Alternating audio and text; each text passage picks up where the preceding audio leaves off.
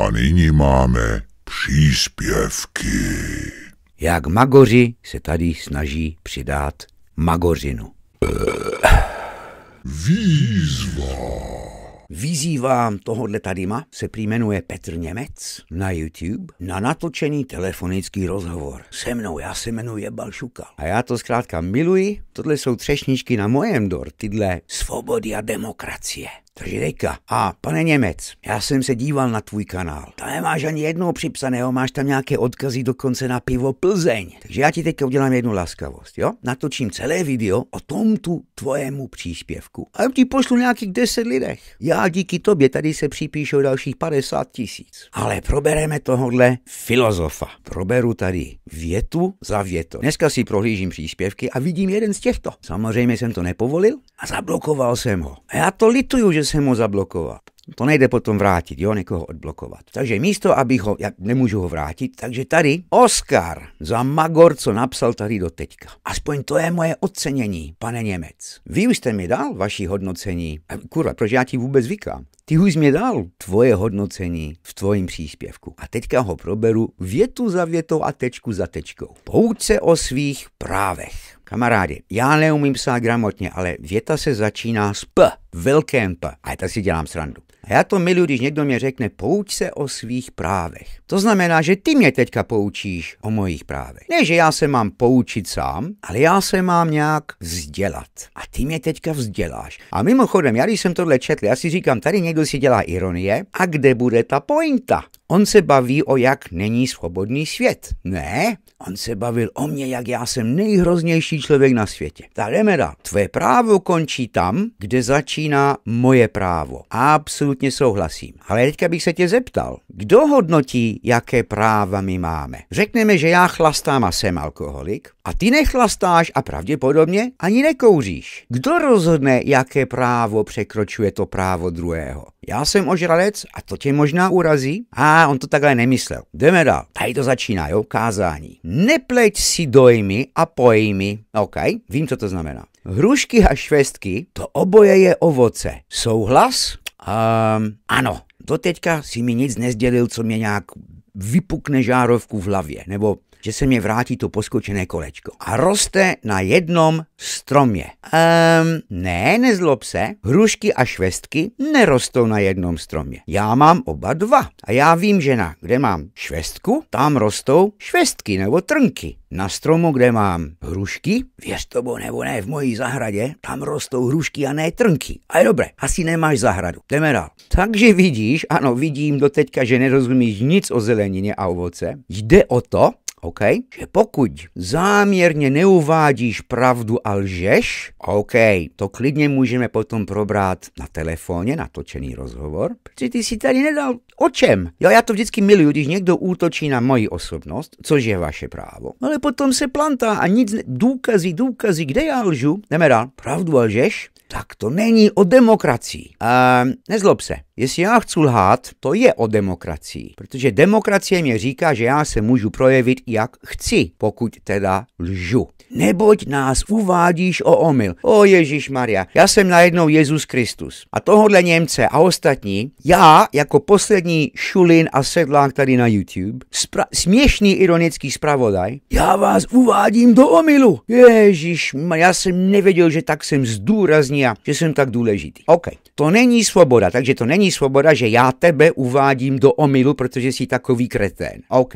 Pokud nás uvádíš v omyl, OK, opakovali jsme, tento taky bude ožralý jak ten poslední v tom videu. Dobré, jdeme dál. Pokud je hruška a švestka na jednom stromě, Pavle, eh, Pavle, já nevím, proč mu říkám Pavle, Pavlo nebo Petro, hruška a švestka není na jednom stromě. Věř mi, jo? Já mám nejdelšího šulina na Moravě a o tom bychom se mohli hádat. Možná tam lžu. Já, já nemám nejdelšího. Já mám dva nejdelší šulí na Moravě. Ale hruška a švestka opravdu nerostou na jednom stromě. Tak je svoboda projevu. No, to už jsme tady nějak měli, ne? A to mi řekni, že to je pravda? Takže hrušky nerostou na jednom stromě, není nic spojené se svobodou projevu a já ti vždycky řeknu, že všechno, co já tady říkám, najednou mám tři šuliny, že všechno je pravda. Ty tomu věříš? Já doufám, že ano. Jako teďka jsem ti otevřel mozek, že jo? Jdeme dál. Ty si asi spadnul ze švestky, jako on myslí, že já jsem spadl ze stromu. A teďka jo, gramaticky. Eh, pa, eh, Petro, Petro, Petro, Petro, prosím tě. Když mě budeš kázat, aspoň mě vynadej, že nepíšu česky dobře. Ale jak ty píšeš? Ty píšeš hůř než já. Ty si asi spadnul ze švestky, samá lež, co tě neposlouchal. Tak počkej, kdo mě neposlouchal? Ta švestka, nebo kretén jako si ty, nebo já sám sebe. Dobře, jdeme dál. Tobě asi trošku poskočilo kolečko a vidíte, tady je ten osobní útok. A tady bude celé video o jak vy se můžete bránit takových věcí, že když někdo začne útočit na váš charakter. A tady tento kretén, Magor, Oscar, Magoru, co tady píšou, nenapsal ani jedno slovo, kde on tvrdí, o čem já lžu. Jo, to jsou jenom slova,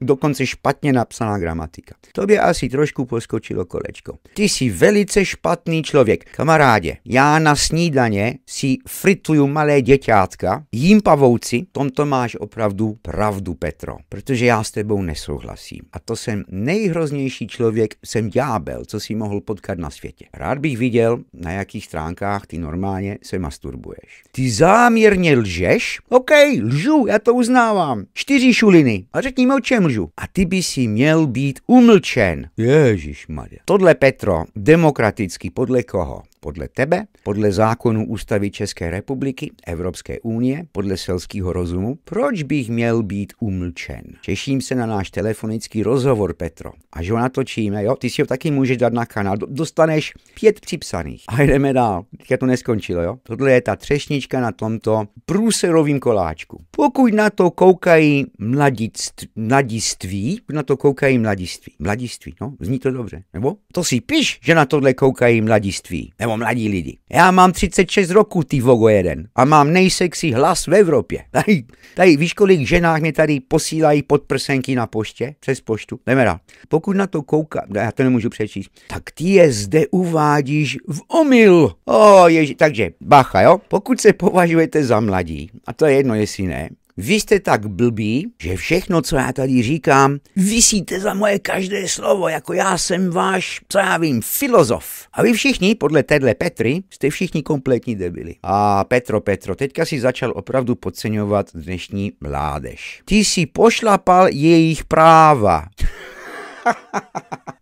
O jejda, tak počkej. Já se moc omluvám, že jsem pošlapal práva asi těch lidech, kteří rozumí o moji češtinu, že ju nemluvím gramotně. Omlouvám se za to, že jsem pošlapal vaše gramatické práva. Jinak, Petro, řekni mi, jak jsem pošlapal koho práva. Možná jsem pošlapal tvoje pocity, ty churáčku jeden. Oh, jej, jej, jej. Uh, víš co, zavolej mi a já se ti omluvím. Já ti řeknu, víš co, já mám empatii s tebou, ty jsi úplně ztracený, já bych řekl potrat, ale potrat by potom lidi rozuměli špatně, že ne, potracený, ne, to nemůžu, ztracený člověk. A budu vítat, až mě zavoláš a možná se taky od něco ty vzděláš. to je hnus. Takže zkrátka, já jsem špatný člověk, pošlapávám práva všem. Chvála Bohu, že YouTube mě to dovoluje a demokracie v dnešní době mě to dovoluje. A jsem hnus. Já, já jsem hnus, Petro. Já jsem alkoholik a kouřím 40 za den. Ale hele, já ti řeknu jednu věc. Já doma mám v té obci, kde já bydlím, já mám bidet. Ty nebudeš vědět, co je bidet, ale já mám bidet a ho používá. Takže jdi prosím tě někomu jinému vylízat. Ale ještě jednou, pošli mi e-mail. Jo, pošli mi, řekni, tady je Petra Němec, Petra Němcová, jak se jmenuješ. Já ti odpovím naspět. Moje e-mail je info zavináč kurva hoši. Je, to tě taky urazilo.